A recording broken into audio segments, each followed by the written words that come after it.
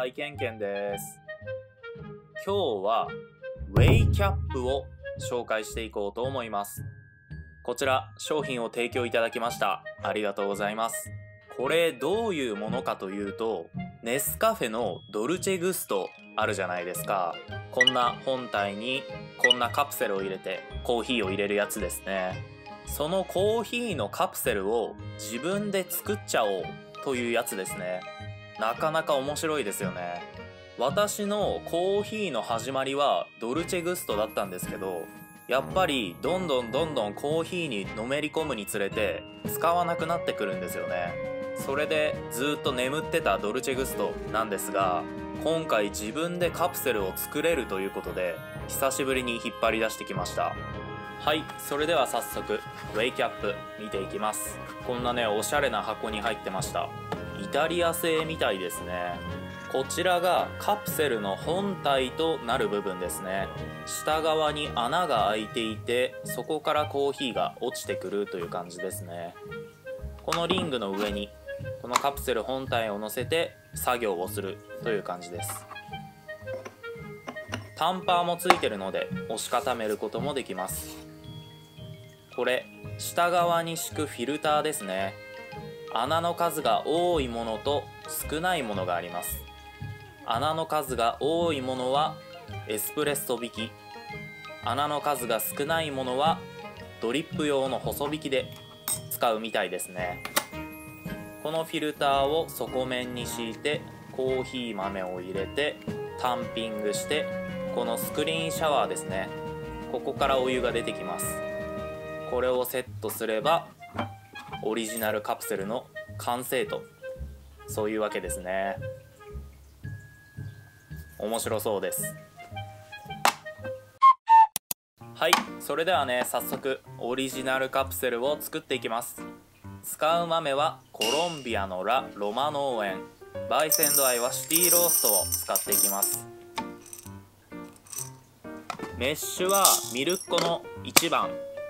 ミルッコで一番細かい引き目ですね。で引いていこうと思います。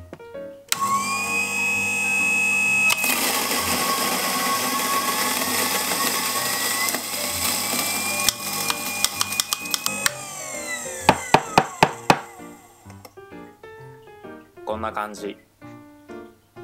それでは作っていきます。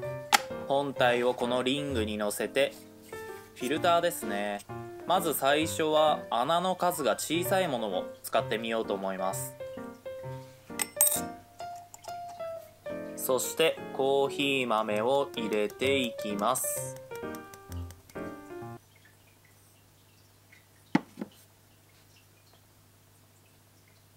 はいそれではね早速コーヒーのカプセル作っていきます。底面のフィルターは穴の数が小さいものを使っていきます。コーヒー豆の量はとりあえず 10g でいってみましょうかね。なんとなく量が多いような気がしてたんですがまあ基準を作るためにとりあえず 10g でいってみてます。そしてタンパーですね。付属のやつです。これで押し固めていきます。結構強めにタンピングしましたね。タンピング後はこんな感じ。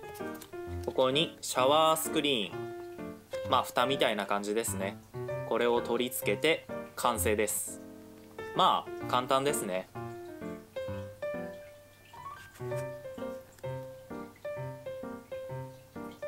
ウェイキャップさあそれでは抽出していきましょうか。普段のカプセルをセットするケース。これに作ったカプセルをセットしていきます。穴の位置。しっかりと真下に来るように調整します。穴の位置を合わせたらカプセルをセットしてレバーを下ろして準備完了ですね。まず最初はショットグラスにエスプレッソぐらいの濃度で落としてみようと思います。さあ抽出開始。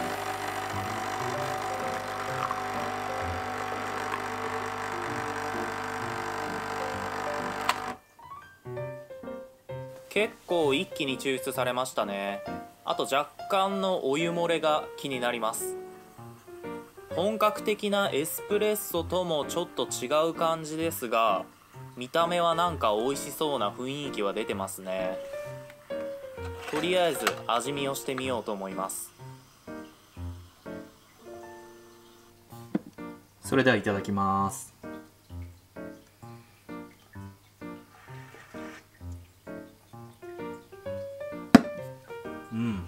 コーヒー豆の味がダイレクトに伝わる感じ？そんな感じですね。うん。ガツンときます。ちょっといろんな抽出パターンを試してみたいので同じ豆を使ってコーヒー豆の量 8g に減らしてタンピング少し弱め。これで濃度は普通のドリップコーヒーぐらいの濃度で抽出してみようと思います。こんな感じでタンピングちょっと弱めですね。これで今回は行ってみようと思います。この試行錯誤が楽しい部分ですね。さあセットしてそれでは行ってみましょう。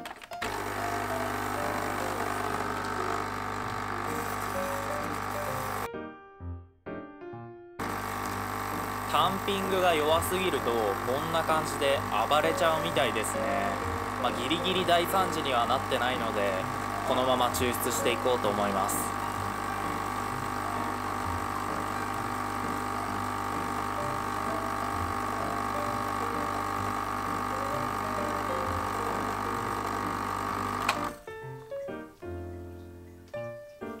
はいそれでは飲んでみます。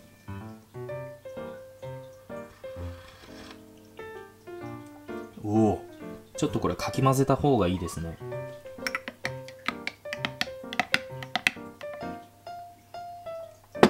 あかなりすっきり。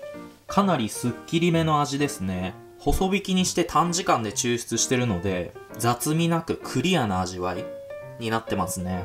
かなり短時間なんですけど抽出温度も高くて細引きなので味はしっかりと出てます。やっぱ豆が新鮮なんで味は美味しいですよね。はいそろそろちゃんと入れたいところなんですが次。こちらの穴が多い方ですね。底面のフィルター穴が多いフィルターを使っていきます。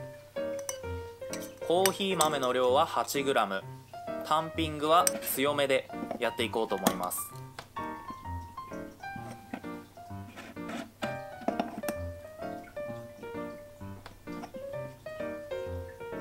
はいこんな感じですね。抽出量はさっきと同じぐらい。普通のドリップコーヒーぐらいの濃度を狙っていきます。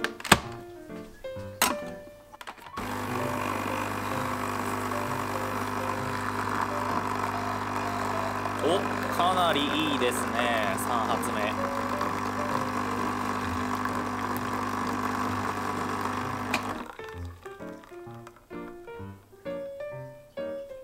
こんな感じの見た目ですね。それではいただきます。お。かなりいいのできましたね。味としては基本的にクリーン。かなりクリーンですっきりと飲める感じ。ただ見えますかね？このオイル感。このオイル感を見てもらいたいんですが。見えるかな？あ見えますね。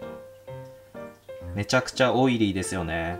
このオイルの感じがすごいフレンチプレスに近いような味がありますねペーパーでこしてないのでクリーンでありながらもオイル感を感じれるといった感じですかね。ああ。金属フィルターで短時間抽出したっていうのが一番しっくりくるのかなと思います。重要なのはやっぱり濃度の設定ですかね。粉量と水の量のバランス。そこが大事だと思います。これかなりいい感じにいきましたね。濃度感がバランスよくできたので甘さを感じるようになりましたねかなり美味しいです。フレンチプレスとも近い味なんですけどフレンチプレスよりかなりクリーンに感じますね。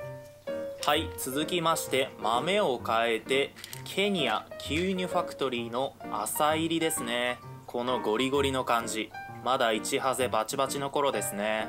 こちらをエスプレッソ引きで引いていこうと思います。こちらエウレカのスペシャリタですね。動画にはかなり久々の登場ですね。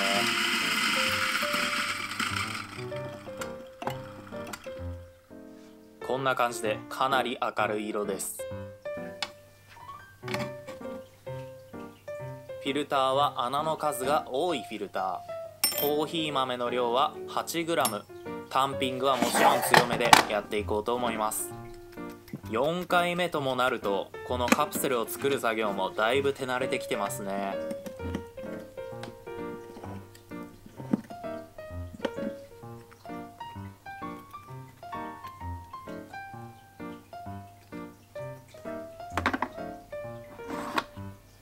それでは行ってみましょう。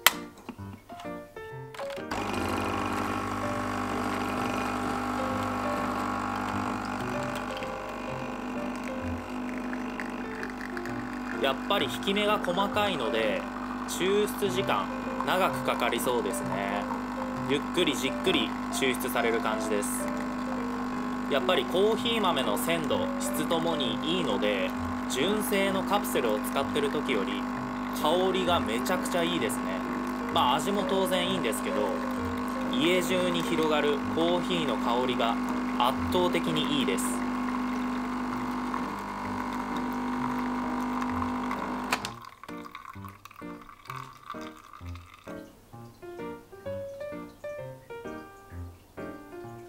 それではいただきます。お。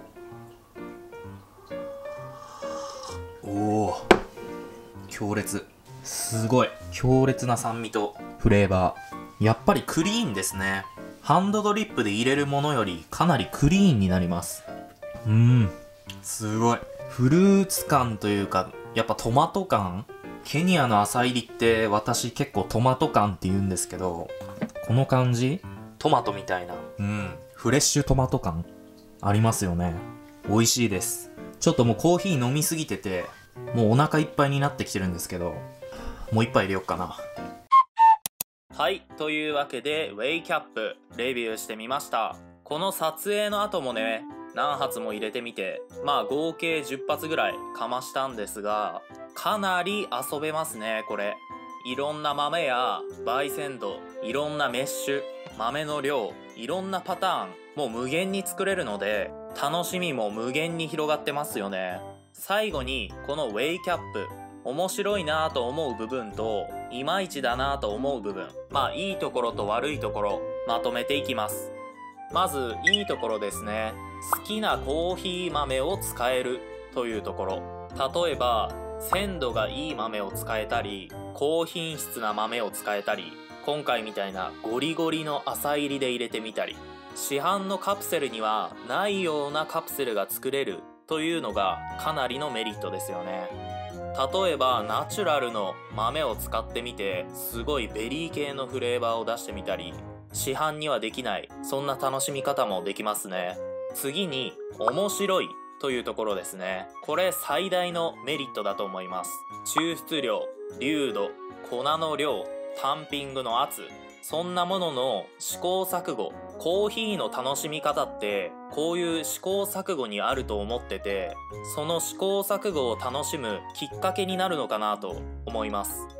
昔ドルチェグストを使っててもう今は使わなくなっちゃったという上級者の方再度ドルチェグストで遊ぶきっかけになるのかなと思いました。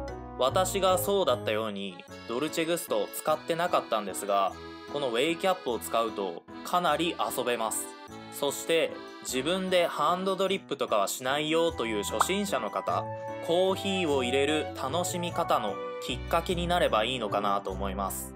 コーヒーの面白さはいろんな抽出量とか流度とか粉の量とかそういうのを調整するところこれが楽しいところでもあるのでこのウェイキャップを使ってみてその面白さを知るきっかけになればいいのかなと思いました。次に悪いところですね。まずは手間がかかるというところですね。まあこの手間を楽しむ商品なのでそれはどうなのかといったところもあるんですが自分でカプセルを作らないと飲むことができないという面倒くささはあります。次に調整の難しさですね。抽出量流度粉の量タンピングの圧いろんな変数があるので調整結構難しいと思います。特に初心者の方ここの調整を詰めていくのはかなりハードルが高いのかなと思いました。ただまあここの試行錯誤をするのが面白いところいいところでもあるので、まあいいところであり悪いところである、そんな感じですね。自分でカプセルを作る楽しみ、いろんな変数を調整していく楽しみ、こういう楽しみ方を楽しめる方、めちゃくちゃおすすめだと思います。逆に、とにかくお手軽にコーヒーを飲みたいという方には、なかなかおすすめしづらいのかなと、そう思いました。上級者の方でも初心者の方でもおすすめできるものになってるので、もしドルチェグストを持ってて気になったなという方は、ぜひチェックしてみてください。幕開けのクラウドファンディングでの商品で、現在で739人、総額にして400万円以上、すでに集まってますね。期間は12月7日までとなってますので、気になった方は概要欄のリンクからぜひチェックしてみてください。それでは次のコーヒー動画でお会いしましょう。ではまた。